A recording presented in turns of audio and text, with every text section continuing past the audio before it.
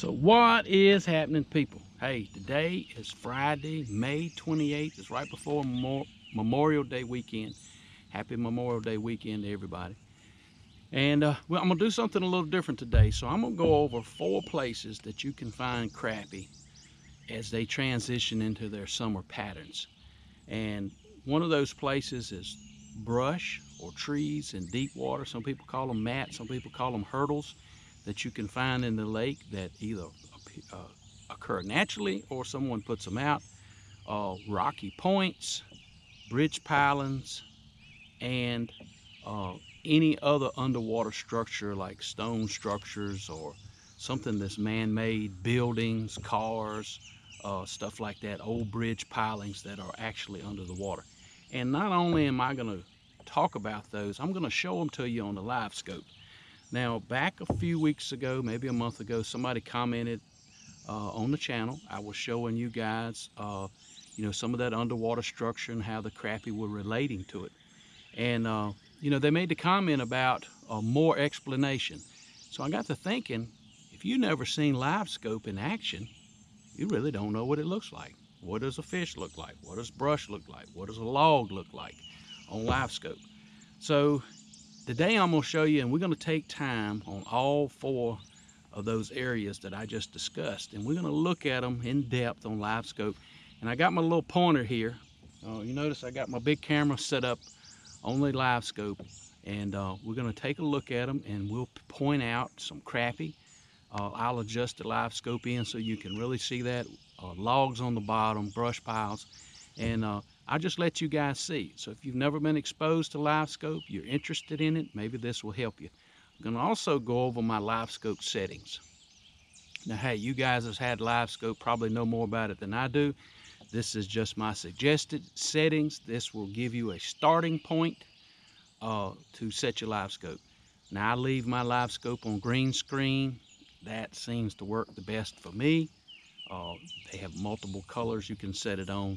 And uh, anyway, whatever your choice. Some people are colorblind, so different colors uh, show up better for their eyes. So anyway, hey guys, let's get right to it and take a look at this brush. The first place I'm at, I've almost floated against the bank. I'm back in a cove off the main channel in about 16, 18 feet of water. I'm on some brush. That's the first place we're gonna look. And uh, let's go out here and take a look at this brush out here. Back it just a little bit. As you can see here, here is a tree along the bottom here. And you can see my live scope. That's why it's moving my live scope. See how far that tree runs? Now let's take a look at that tree right there. See, here's the butt of it here. These spots right here are fish. Zoom in. Those are fish. All those signatures right there are crappie or some type of fish that you see across the top right there. Those are crappies. And you can see it's a bunch all along the bottom of this structure right here. And let me move it. And you can see how this is the log running right here along the bottom. I'm going to back this out just a little bit. And you can see that there's fish hanging out underneath here, this log. If you'll notice on these top side right here, See that signature? That's a bigger fish there swimming off. Possibly a crappie. So there you can see, let me back out with the camera here. You can see that. So now I'm going to go one step further. Go down here, click menu, forward range, up. And let's go on up to about 20. Let's go on up to about 20 feet click done. Now, I normally do not uh, go 20 feet normally unless I'm really trying to figure out something. So you can see you get greater detail on the log. So the log lays right about across the bottom. And you can see I've set it on forward range and see I'm getting a greater detail of this log along here and you can see the fish is kind of hanging out up underneath it right here. See these fish? But that's a little bit greater detail of what that screen looks like. See, that's a big signature of a fish. That's probably a, it moves like a bass. Sometimes you can tell. So I'm actually floating over top of the log now. As I turn the live scope, that's actually looking behind me. There's a good detail of the log there uh, in here. And you can see all the fish down low up underneath this log here. So that big fish up there probably is a bass and those crappie. See this big fish right here? That's probably a predator fish right there moving along. See that big signature? See how big it is? It's probably a big catfish or striper or something like that. See how big he is? Here comes another one in right here. And those crappie, if you noticed, have dug in up underneath that brush.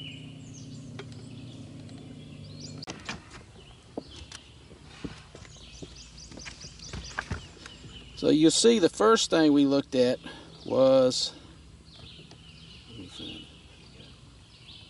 okay, so you see the first thing we looked at, now this is a big bush. You can see it's about 16 foot deep right here. All those bright signatures in there are crappie all around the edge here. And I don't know if I can zoom in on that. That is a bush. You can see the base that's standing up. It's probably got some type of flotation device in it. But all of those signatures that you see there, the bright signatures, are crappie. You can actually see them moving around, swimming. And this is uh, probably a willow. Still got leaves on it, but you can see the definition of it.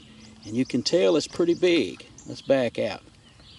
Um, you can tell how big it is and this is in the same cove. It's right beside of uh, that tree we just looked at. Two types of brush actually in the cove. And this, the Curiosity, we ride over it. Uh, there's no wind. And we're gonna just drop straight down right there. And just, and boom, look at that, I've got a, we got fish right there. You can hear him flopping around and boom, it's just that easy when you come in here finding brush. Oh.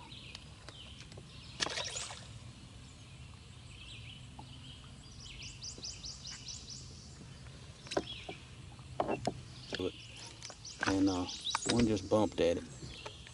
Now since that tree comes up within, uh, looks like six feet of the surface, that's a pretty tall tree. That's why it's got so many crappie around it. Uh, so you can just see how many fish hang out in a, in a brush pile, 18 feet of water, off the main channel back in the cove. Now, I'm gonna crank up, I caught maybe five fish off of this. Uh, it's a lot of smaller fish. And uh, anyway, I wanna take time and show you guys uh, this other structure. So we're gonna run down the lake and I'm gonna do the same thing. We're gonna look at this different type of structure. So stay with us and we'll go to the next structure. So um, what we're on now is an old man-made structure that's under the water. It is an old mill tower. And it comes up, it's, it's actually in about 42 feet of water. It actually comes up about 20 feet off of the bottom and rises in the water column. And there's fish that sit right on top of it, all down the side of it. And then it transitioned to standing here in the deep water like this it comes off the backside and then it gradually slopes out. It's got looks like some rocks or part of some old columns from buildings or anything, but it's just full of fish. As we progress into the summertime, they'll start holding more fish. so anyway, let's take our time and look at this, and I want you to see it and study it a little bit, and then I'll point out, like I did in the brush, same thing, fish, the underwater structure, and you can see the different anomalies that uh, make up this structure. Um, so as you can see there, I've got my I've got my live scope set at about 40 feet of water. So there's the edge of the structure here. And as you can see across the top are some fish. Now I'm going to move this live scope around because I've gotten right over the top of it. Now see, as I turn the live scope, this is the back side. This is the back side of the structure, as I was telling you about. You can see how it progresses down the stair step uh, into the water here. I'm gonna back on up just a little bit more. The structure right here. This is the edge of it. Here's the 40 feet of water. Here's the top, actually the top of the structure here. And I'm gonna zoom in again. I'm on 40 feet. I'm looking at. I like looking at 40 feet. I've learned myself uh, how big uh, certain size crappie are at 40 feet, and I'm gonna get right on top of this. Now we get greater detail. You can see the wall coming up here. It looks like they built the wall to help hold water and you can see the fish sitting that all those are crappie sitting right on top of that wall right there those are crappie and as you study this underwater structure you'll notice that the crappie may like to hang out more so on one side of the structure or not see I see a couple of fish down here on the side Now we're looking straight down. This is looking down the lake. This is looking north. There's your face side. It looks like the crappie are sitting here. I can actually see some crappie down the side of that. Crappie or brim one uh, along the side of this. If we can see it. See this brush right here?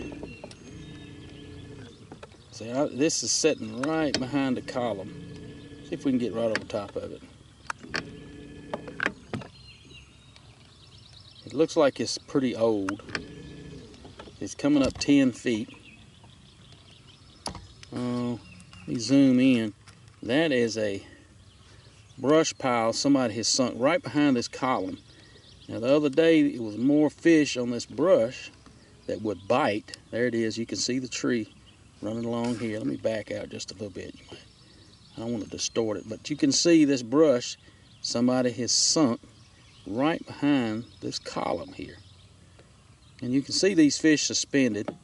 Uh, those are pretty big fish. These could be catfish. I don't see the amount of fish in this brush that I saw the other day. There was a lot of crappie in this brush. Then there's that brush back there, and you can see the fish in the brush. Uh, that's probably a better picture of it right there. Yeah, there's the brush pile right there, guys. That's what I was looking for. See all the fish in that brush pile right there? There's a lot of brush there. As it turns, see it turning right here. That is a pretty good sized brush pile. It runs all the way over here. Uh, that's part of it there. But just think a hundred years ago, somebody was actually move, using that mill there beside of this old creek or river channel right here years ago. That's pretty amazing. Now it's under the water and hey, and we catching fish around it. So that's man-made structure in deep water.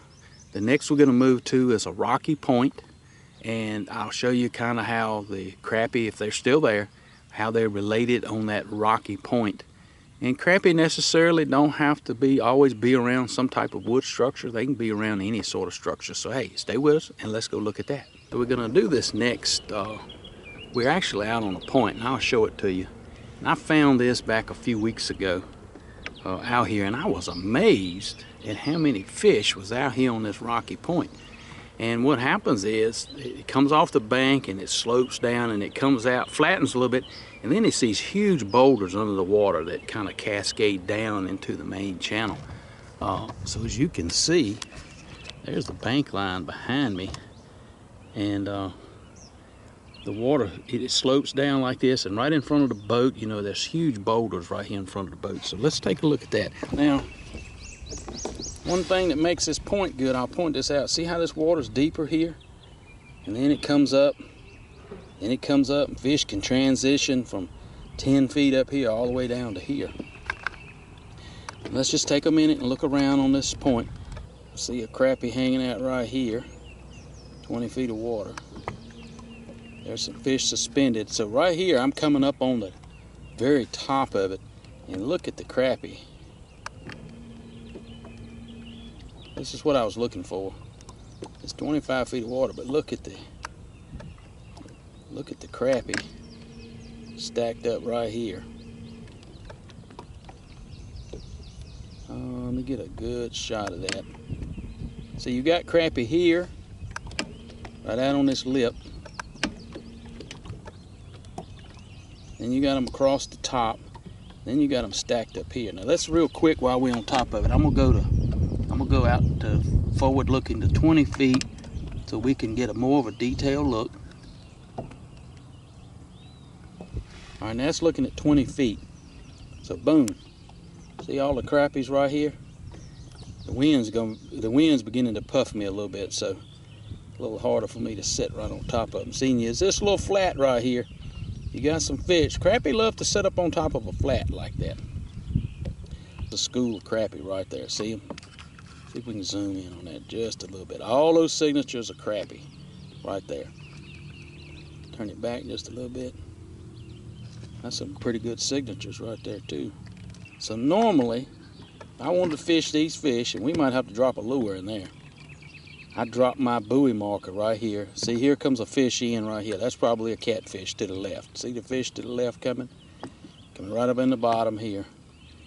Right up by these fish. So normally I would drop my buoy right here on the end of this point and fish around that. But you can see those fish working on the top of this rocky point.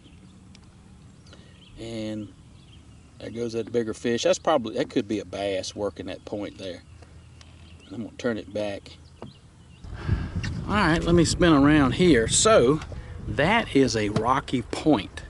Now you can see how many crappie is there. I, I only had a 16th ounce jig on. It took me a little bit to drop it down. Dropped it down three times, boom, got bit three times in a row. But you can see when I scan back out how those crappie were related to the point, not necessarily setting on the point.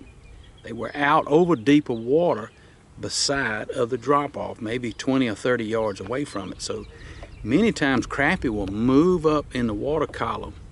There may be structure on the bottom that they're relating to, or they may be relating to structure on the bank, like a, like a blowdown. They may not necessarily be in the blowdown, they may be in open water close to the blowdown. It's kind of like uh, you go in a restaurant, you keep your back against the wall and watch the door. You know, basically, you have a place to retreat to and you can uh, nobody sneaks up behind you.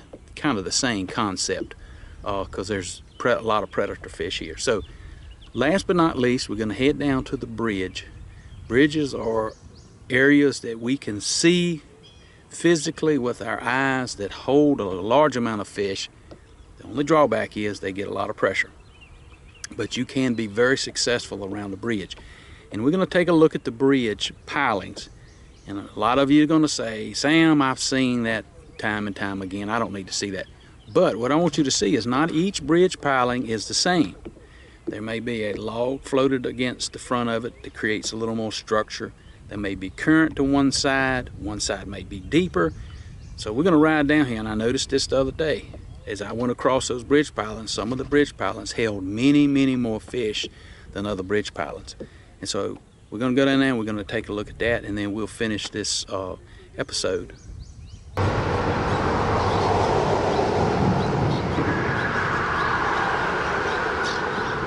Now we're going to have to deal with some traffic noise, so I'll try to speak up. Now, the first thing uh, that a bridge does is holds, has shade. Crappie love shade. So you can see in the screen there comes the column. That is the front side of the column. We're going to look down the column and you see this. Uh, there's a brace under the water there about 10 feet under the water. We're going to look. So you can see fish like to hang out up underneath that brace. Can, there's your cross member there you can see. You got a couple of fish hanging right out on the top of it there. There's some fish in the brush pile here. I'm going to turn off of this. And the next piling, if we're looking, this is the piling that you see right in front of you. I'm looking at that piling right there. And that's what it looks like. I see some fish hanging out right in front of it in the shadow line. Um, that could have been a school of shad. You can see how it's stair-stepped. Here, here, and there's a column. All right. Now, look at this right here coming up. See this pillar right here? Zoom in on that. See that right there? That is a school. There's a crappie right there. There's a large school of crappie. Boom. There they are. They over here on this shadow side. Coming past them. Boom, we'll look up. There's a column right there. Look right back down and boom. There's a crappie. Right over here on this side. And a pretty tight school too. Um, a little bit better signature right there. Two signatures. Hey guys, we're getting ready to end this video. I hope you've seen something in the video that you enjoyed. I hope you've seen something in the video that you also learned. We appreciate all the support that we get for this channel. Don't forget to hit that subscribe button below. Now, you don't necessarily need live scope to find this type of structure. You can do that on 2D sonar, and uh, you can recognize points, uh, the lay of the land. Uh, you can use side scan. There's so many different ways you can find this. And the reason I've done this video, I wanted you to be able to see it on live scope and see how fish relate to this type of structure and how they, especially like a bridge pilings, how they may not be on one piling, but they're on another piling. There are many reasons why crappie relate to different structure, different ways. Now, by no means is these four type of structures on any lake the places to look for all the time. There are many other places crappie hang out. We'll do some of those videos later in the summer as fish get a little bit deeper. But hopefully this helps you find fish on your home lake. And uh, you know, I, am at Kerr Lake today. I'm in the Longwood section again. I've been coming down here. This will be my fourth trip. This will probably be my last trip. I'm going back to the Clarksville area and I'm going to spend about four trips down there. And what I'm doing is gaining knowledge uh, out on the lake. As fishermen, that's what we come for. Every time I come to the lake, I gain some form of knowledge, whether that's fishing method, fishing lure, and um, Hey guys, as always, we appreciate all the support we get for this channel. We appreciate you subscribing. Hey, share this channel with someone who likes to fish, likes to hunt. We appreciate all the support we get for this channel. Hey guys, and you remember, it's a wild life, and I'll see you on the water.